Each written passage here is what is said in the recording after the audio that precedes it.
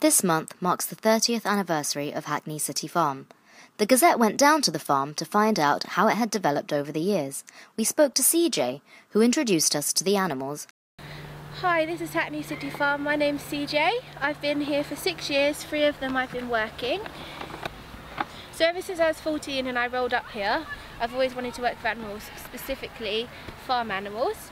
Um, just because you know they have a purpose, we have a purpose here by educating the public, and you know it gives you a lot of satisfaction from from knowing that. Dylan here, what this big boy, who's Yeah. slightly overweight, we'll say slightly, um, is one of our bottle feds from a few years ago.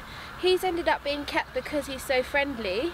Um, and he's good for when we have children about because Yeah. he'll go right up to them, give them a cuddle. He, he gets a lot. He gets a lot fluffier before then, don't you? There you go. Oh, he's lovely. It's like a big dog.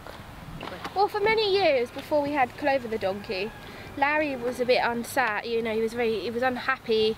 I mean, donkeys, they're, they're, they bond for life. They're, they, they like companions.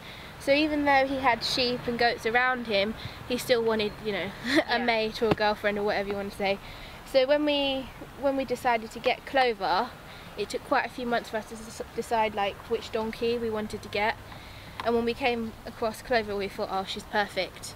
So when we finally got her here, it was so nice to see that he would be happy, you know. Yeah. And they've been inseparable since. So they're the, they're the reason I work here because I want to work with animals. This is my first time coming to the farm, and we are really excited to be here. Um, yeah, we like it. We would like to um, with the pigs.